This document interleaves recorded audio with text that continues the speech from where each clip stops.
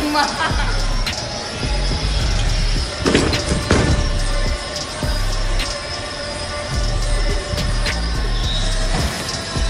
Jangan aku kita kena gaji tu. Jangan aku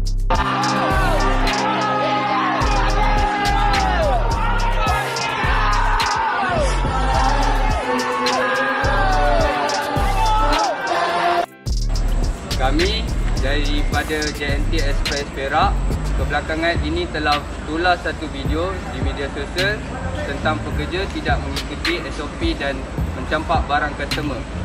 Kami ingin memohon maaf dan kami ingin menjelaskan bahawa tiada isu dalaman ataupun potongan gaji antara pihak syarikat dan pekerja JNT Express Perak.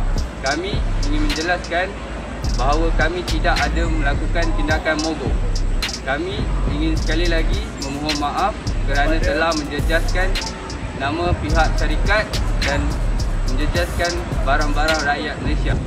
Sekali lagi kami ingin Mohon maaf pada pihak syarikat dan pelanggan JNT Express. kami sedaya upaya akan kira dan hantar barang pelanggan secepat yang mungkin.